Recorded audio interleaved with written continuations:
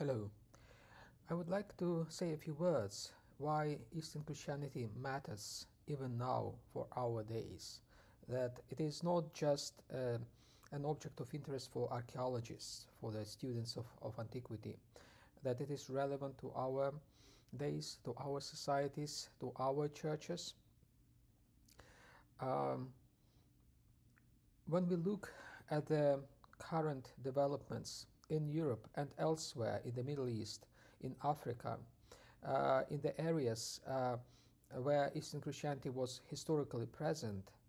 and continues to be present,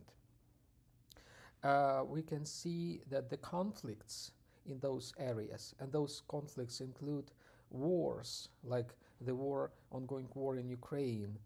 uh, or the war in Georgia that happened in 2008, or uh, the war in um, in Tigray in the Horn of Africa, or the war in the Middle East in Syria and elsewhere. Uh, all those um, uh, conflicts and wars, they are to different degrees underpinned by uh, by the traditions that are present uh, in those areas because people who uh, participate in those wars in different ways, in different roles, either by uh, uh, supporting those wars or opposing those wars, uh, they uh, affiliate themselves with, uh, with Eastern Christianity. Therefore, to understand those wars, one has to take into consideration the Christian tradition that is there to people who are involved, who are present there uh, in those uh, in those areas. Uh, one would say that those wars consist of uh, yes, of weapons of violence, but also of ideas. And many of the ideas uh, stem in different ways from Eastern Christianity. They stem either in distorted ways, uh, as a sort of deviation from uh, the normativity, from the orthodoxy in our lexicon uh, of of of our of our theology, or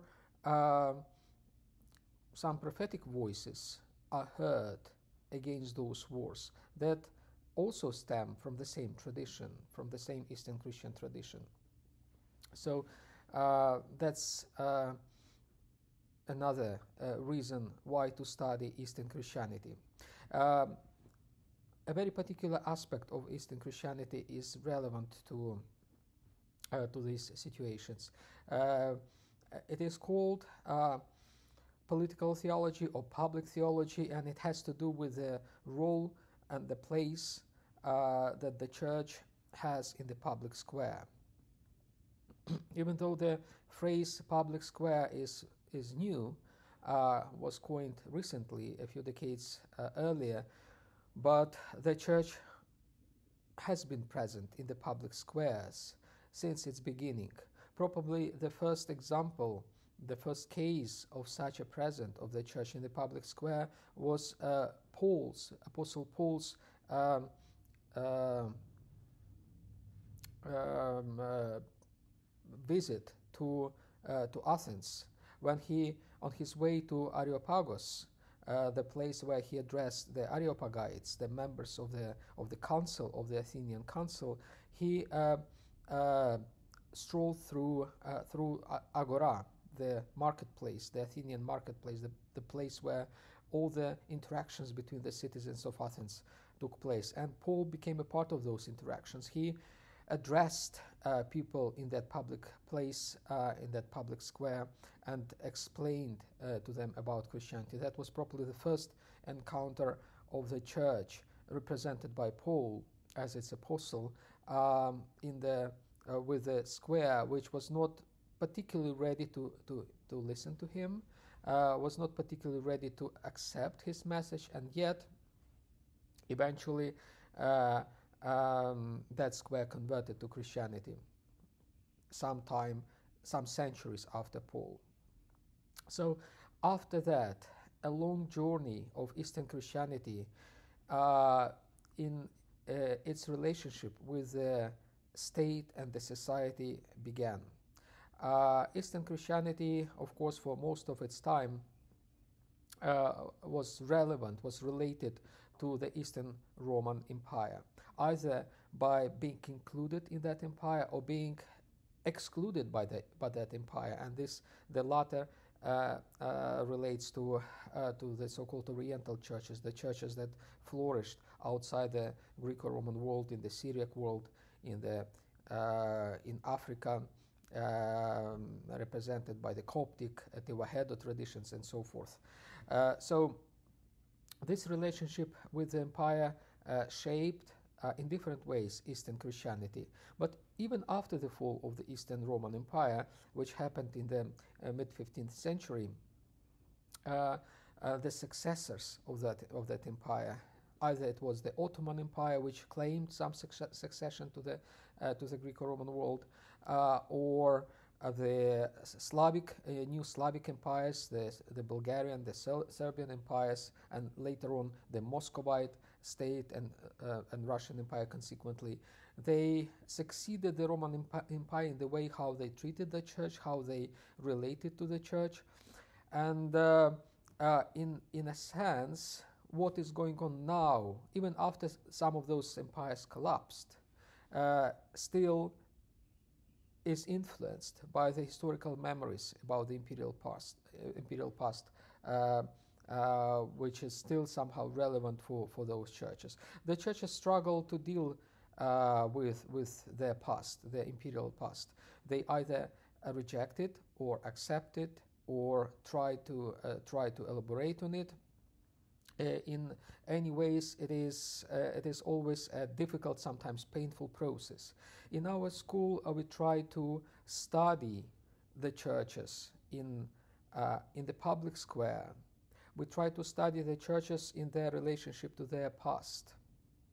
And we try to uh, help uh, theologians and future leaders of those churches to deal with their future, to, ca- to carry out uh, the, uh, their understanding, their knowledge about Eastern Christianity to, to the future of those churches, to uh, make this, this future better than uh, their past was.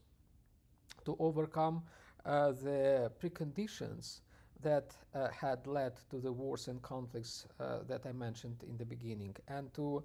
um, um, um to envisage a new future for the churches, uh, a future without the those strings attached to, to the past uh, in, in the sense of the, the, the kind of the unsuccessful uh, pages of the church's, uh, church's past, uh, and to um, draw from the successful pages of the church's past. That's why we study our past, the past of the Christian tradition, with the idea not just of uh, studying it for the sake of the you know academic interest, but also in order to design uh, a brighter future for the church to deal with the current problems, the problem, problems of the present. So our studies of the past, our archaeology, so to say, uh, uh, is not self-sufficient. It aims at um, making uh, the life of the churches uh, today more relevant to their tradition, to the call of Jesus, and uh, to the call of, uh, of their own people the um, uh, students in our classes they learn how to listen to the to the uh, voice of people. We believe that vox populi is often vox dei. The people's voice uh, often represents what God's what God wants about uh, uh, about uh, His church. So that is. Um, uh, that is the dimension in our studies, in our school, which is very important for us. The dimension that uh, starts in the past, goes through the present, tries to bring some solutions to the present, and continues into the future. Our purpose, our goal is in the future, in the future of the church,